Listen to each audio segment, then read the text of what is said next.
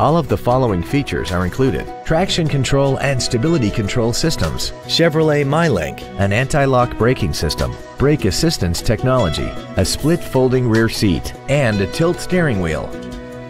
We hope you found this video informative. Please contact us today.